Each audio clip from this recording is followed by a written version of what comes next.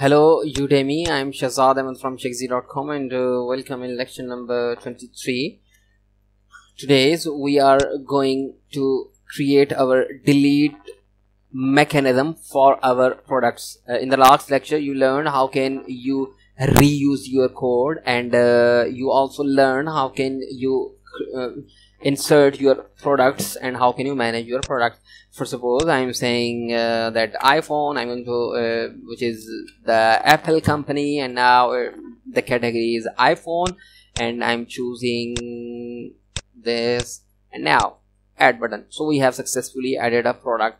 So we have created uh, our section and now it's it's showing all our uh, products. Sorry you have to change the heading as well. So it's my mistake. So i'm going to change i'm saying that these products okay. Refresh so all the products we have just in inserted a single product. So now i'm going to delete this item means uh, which we have just added our products. I want to delete this. First of all how can you perform the delete operations uh, using your ajax or in simple words your jq with your jquery if you remember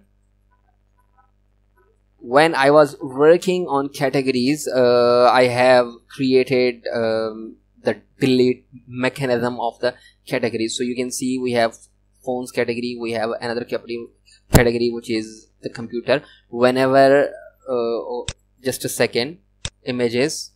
So we have phone and image we have two images. You can see we have this image in the computer category. So whenever you want to delete this category from the database it's your duty that you have to delete this image also from the directory. So you can see we have also deleted the image from the directory. Okay. So now you can see you are going to create the same delete functionality which is related with your categories. So first of all here is the first solution. You can uh,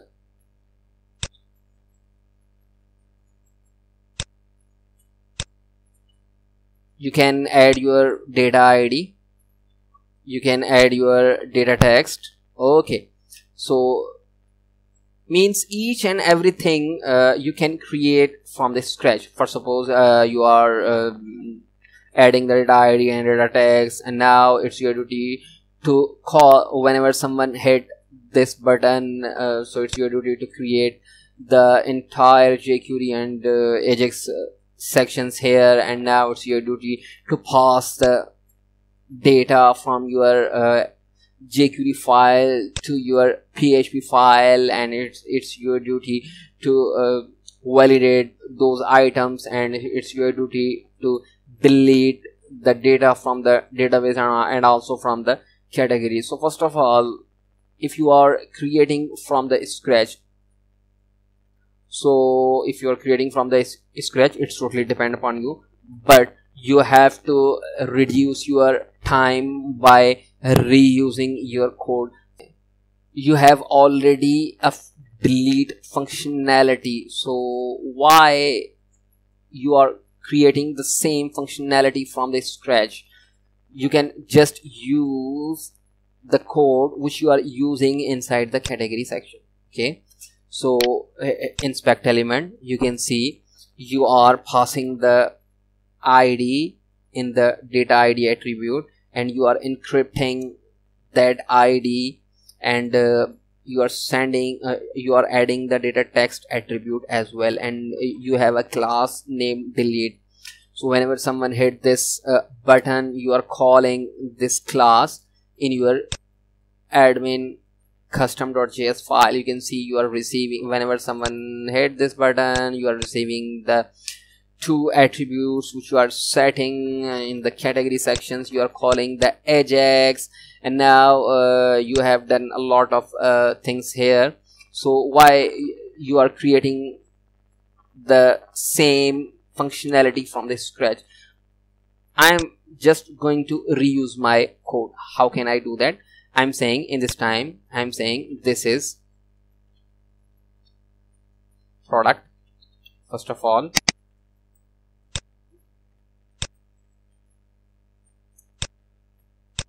we have this functionality from uh, the JavaScript now I'm copying this and I'm pasting this code here. I'm saying whenever someone hit this button just fetch this data id and data text. So here is data id and data text. I'm calling the ajax and i'm sending these two data to my admin controller and the this method so what you need you need you go to your method. So this is your method. Copy this method. Go uh, just paste this method here. So re rename this method. In this time you are saying you are going to delete a product. So this is product. Copy this bad boy this bad boy here. So you have renamed your method. So you are sending the data from the jQuery and now you are receiving the data in your method. Before receiving you are checking the this is the ajax request or not.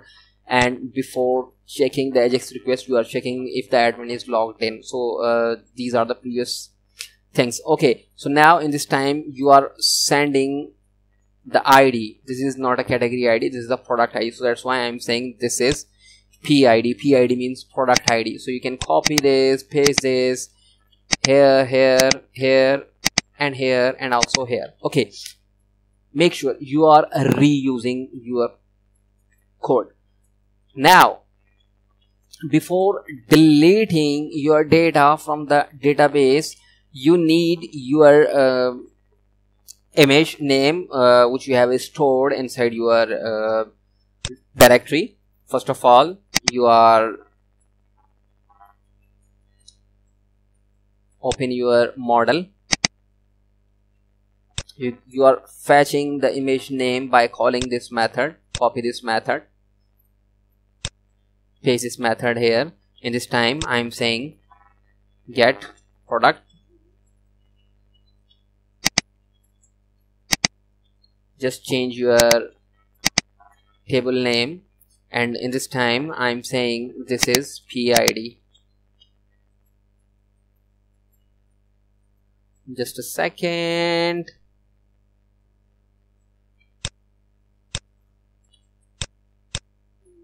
In this time I'm saying this is the PID just a second. I'm saying this is the product table and where the PID equals to. You are sending the PID and now you are receiving the PID here also. And you can see now you are fetching the PDP so this is the PDP column. Okay. So you are fetching the image here. And now you are checking if the image is exist. You are receiving the data from the database okay just change your column name also here because you are fetching as a result so you can see here is a result array why i'm uh, doing this because I consider that you have the basic knowledge of coding CodeIgniter 3. So that's why I'm not telling you that uh, what is the result array. Okay.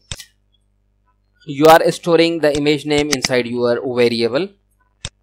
Now, what you are doing, we are deleting the category. Okay.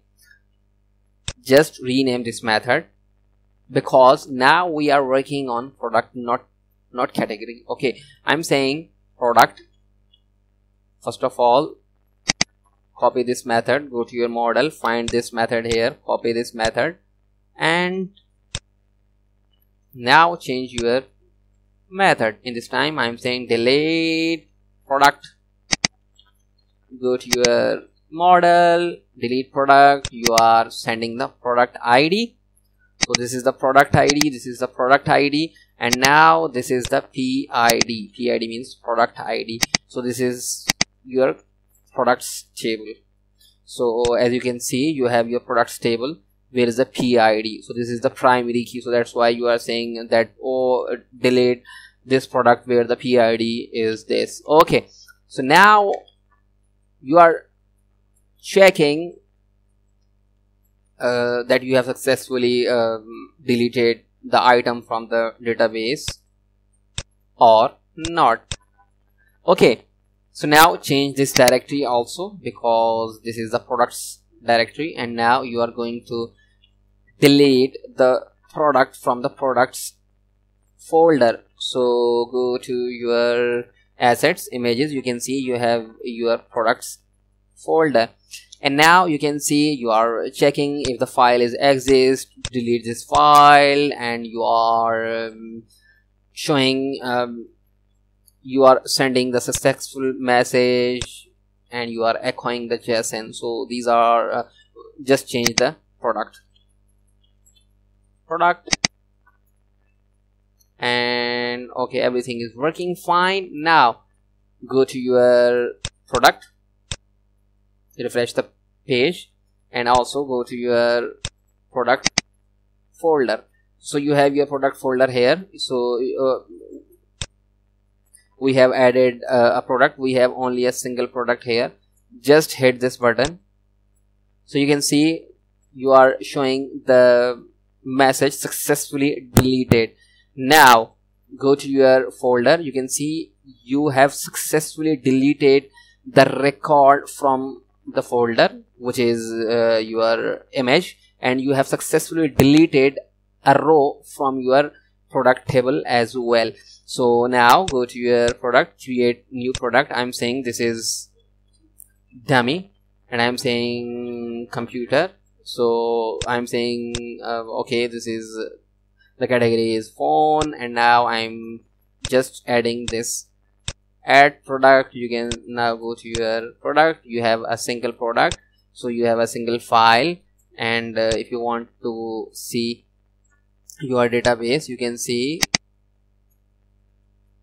you have your you have added a single product and this is the dp means uh, this is the image name. What is the image name? Download underscore one dot jpeg. So go to your folder you can see you have download underscore one jpeg image. So now hit this button. Go to your database. Check. So you have deleted your record now go to your folder. You you have also deleted your record. So it's totally depend upon you how you are coding and uh, what is your coding style. Before creating each and everything from the scratch it's your duty to uh, verify that uh, the same code which you are going to create is already exist or not inside your project. So if you have the same code just go to your uh, that code just uh, reuse it and uh, you can reduce your time by reusing your your code. So that's why i'm reusing your code. So first of all it's totally depend upon you.